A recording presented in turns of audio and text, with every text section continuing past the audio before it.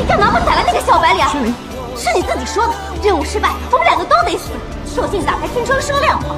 黑白无常职位虽小，却是直接听命于孟婆，你根本管不着我们俩。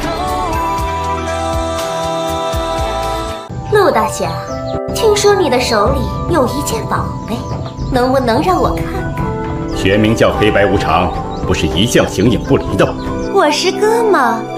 他另有任务。宣灵，你知道这两个娃娃是谁吗？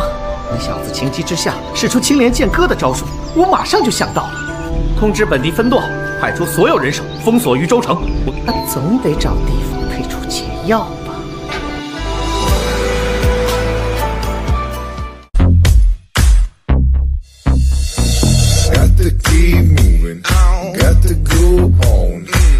吧。访了黑白无常之后，评论区出现了这个角色朱有龟，他的脸，我这差太多了，只能尽力的挑战一下了，宝子们请喷。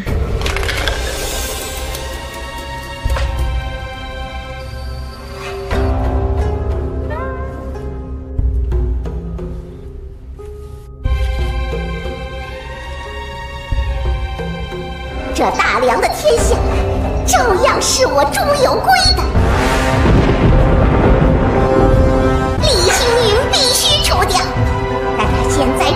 头子的心头刺，我得先把龙泉剑搞到手。